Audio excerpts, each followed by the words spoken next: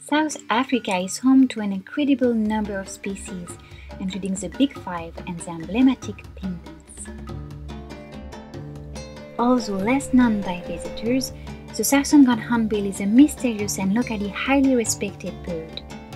In Zulu culture, seeing it or mm-hmm. hearing its reasoning call are a sign of imminent rain. This is why Ground Hornbills are also called the Thunderbirds.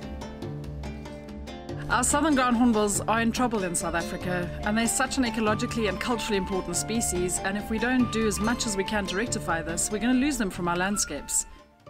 In 2019, we carried out a set of pilot experiments in order to know more but also exploit the cognitive capacities of this large brain bird for conservation purposes.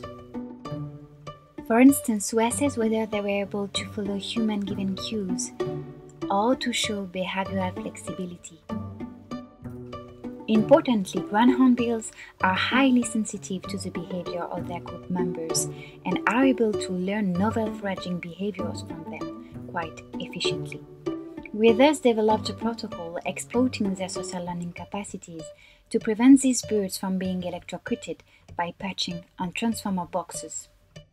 A follow-up study is in progress using naive ground hornbill observers watching a conspecific demonstrator perching on mock transformer boxes that produce either vibrating and loud sound or a small but deterrent electrical shock.